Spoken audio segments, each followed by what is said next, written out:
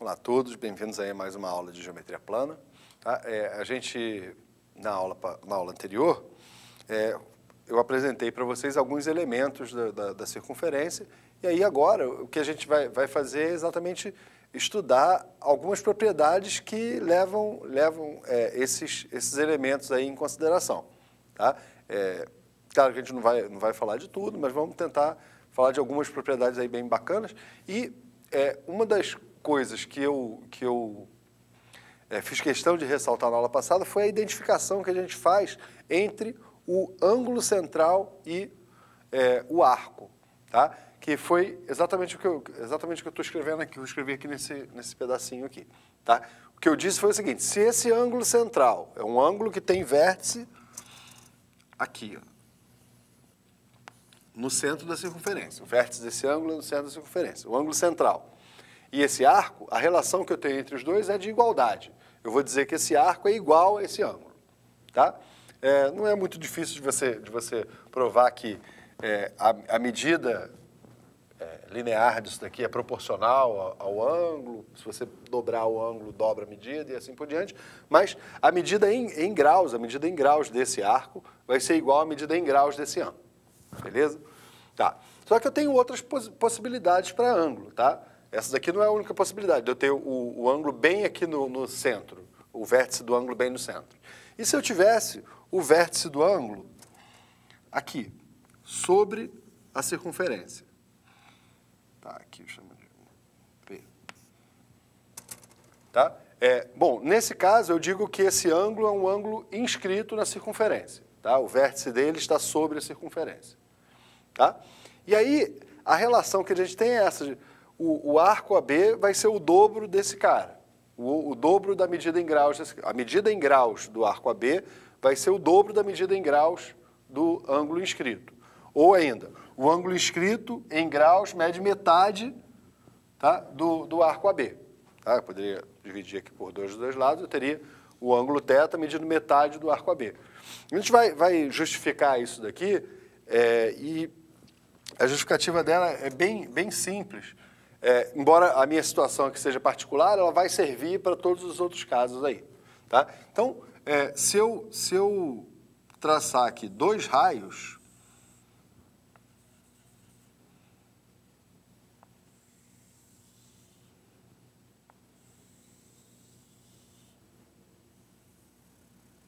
a primeira coisa que eu sei é que esse ângulo aqui, ó, esse ângulo aqui, tá? é, esse, esse arco vai ser igual a esse ângulo central. Tá? É, outra coisa que eu sei é o seguinte, que se eu traçar esse terceiro raio, eu divido o meu ângulo θ em, vou chamar aqui de θ1 e aqui de θ2. Tá? E aí eu fico com triângulos isósceles aqui, né? porque essa medida é o raio, aqui também é o raio. Então, esse pedacinho aqui ó, é θ2. Esse ângulo é θ2 porque esse triângulo é isósceles. Daí a mesma coisa vai acontecer para o lado de cá. Isso daqui vai ser θ1, porque esse triângulo é isósceles. Tá? E aí, esse, na verdade, é um exercício que a gente já resolveu. Né? Dado, dado esse quadrilátero não, não convexo aqui, né? essa asa delta, tá? encontrar a medida desse ângulo. Tá?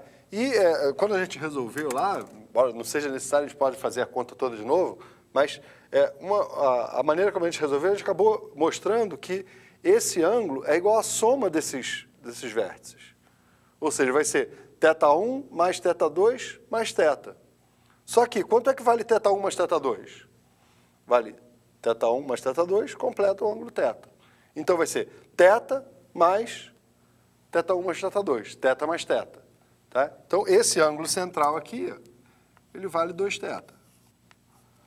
E o ângulo central, pelo que a gente viu anteriormente, é igual ao arco. Tá? E aí a, a relação que a gente tinha colocado aqui no começo tá? fica verificada. Ah, mas esse caso é um caso particular e eu teria que é, considerar, por exemplo, a possibilidade do centro estar fora. Tá? É, eu teria realmente que fazer, fazer é, considerar essa possibilidade, mas é, eu garanto que se você fizesse, o que ia acontecer é que, ao invés de uma soma, você teria uma diferença, mas daria o mesmo resultado. Tá bom? Bom, o, o, o ângulo central lá que a gente colocou, que é igual ao arco, ele é o ângulo que tem vértice no centro. Aí, quando o vértice sai do centro, a gente chama esse, esse tipo de ângulo de ângulo excêntrico. Tá? O excêntrico significa fora do centro. Tá? E aí a primeira possibilidade foi aquele do, do, do ângulo estar tá sobre a circunferência, que a gente não chama de excêntrico, mas é, chama de ângulo inscrito. Tá? Agora vamos, vamos é, dar uma olhada nas outras possibilidades. E uma delas é essa, de você ter o ângulo fora do centro, ou seja, um ângulo excêntrico, no interior da circunferência, ou seja, o vértice está no interior da circunferência aqui. Tá bom? E aí eu quero, é, bom, esse daqui eu chamei de arco AB, aqui vai ser o arco CD. Tá? É, vamos ver quanto é que vai, como é que eu vou conseguir relacionar esse ângulo θ com, com os arcos ali. É, se eu ligar do A para o D ou do C para o B aqui, ó, ligando aqui, vou ligar do A para o D que fica maior, dá para escrever. Ligando do A para o D, tá? Esse ângulo aqui, eu sei quanto ele vale. É, a gente viu lá no, no, no anterior que o ângulo inscrito é metade do arco. Então, esse arco mede AB sobre 2. Tá? É, e agora olhando para esse outro ângulo inscrito aqui. Esse arco aqui, ele mede CD sobre 2. Tá? Bom, se você agora parar para olhar esse triângulo que eu estou pintando aqui,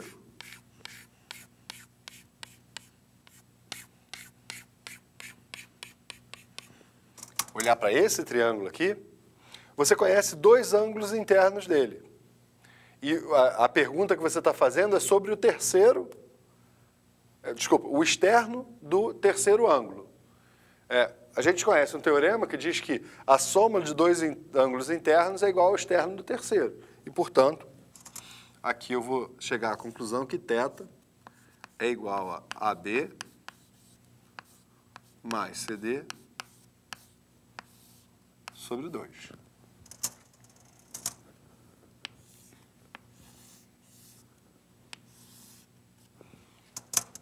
Tá? Onde, claro, AB e CD vão ser as medidas dos arcos em graus que vão ser iguais aos ângulos centrais é, correspondentes. A outra possibilidade de ângulo excêntrico, uma outra possibilidade de ângulo excêntrico, é você ter agora o vértice do ângulo lá do lado de fora, fora da circunferência. Aí eu vou chamar esse ângulo de ângulo excêntrico, ou seja, o vértice está fora do centro e está no exterior da circunferência. Então, esse é um ângulo excêntrico exterior. Tá?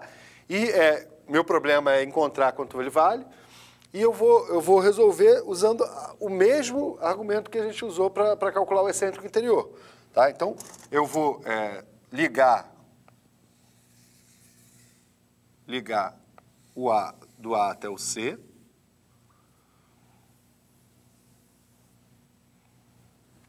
Tá? E quando eu faço isso, esse ângulo aqui, ó, ele é metade desse arco, ou seja, ele é CD sobre 2.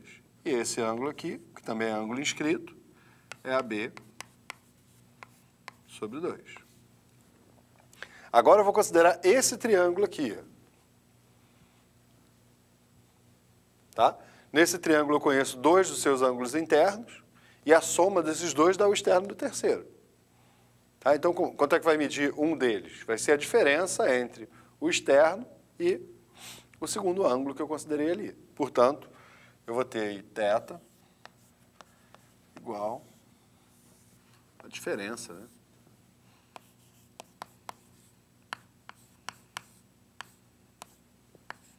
Sobre 2. Em geral, eu teria que colocar que isso aqui é em módulo, né? Para não ficar com medida negativa.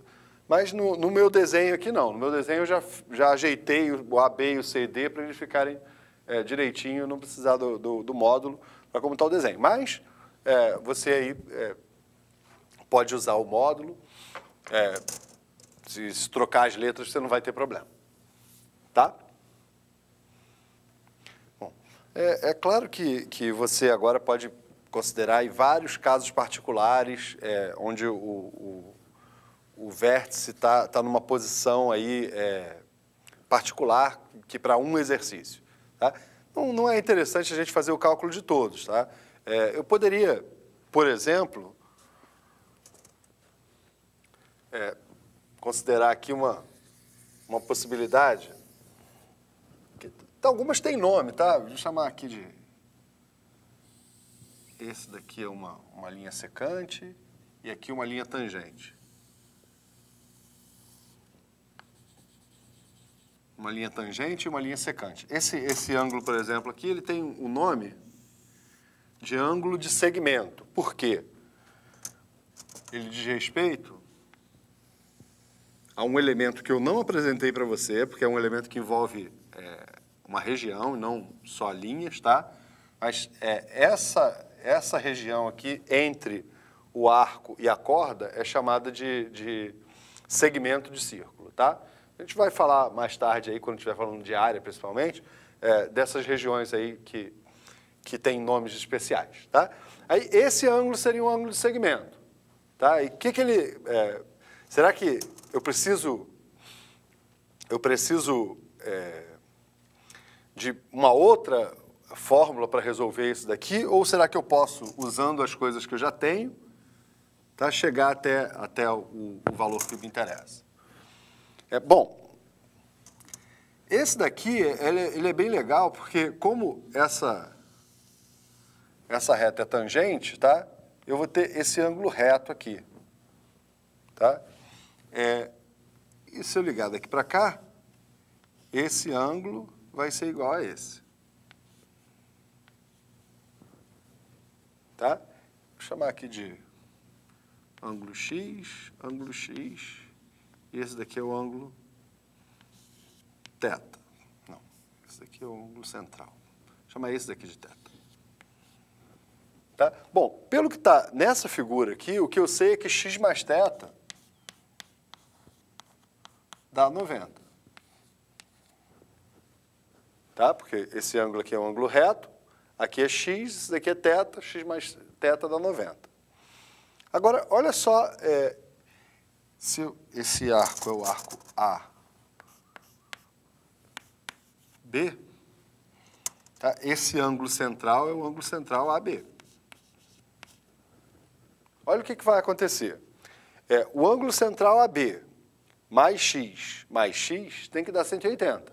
Ou seja, 2x mais AB tem que dar 180, que é a soma dos ângulos internos do triângulo. x mais x mais AB. Se eu dividir essa equação toda por 2, é, vou ter...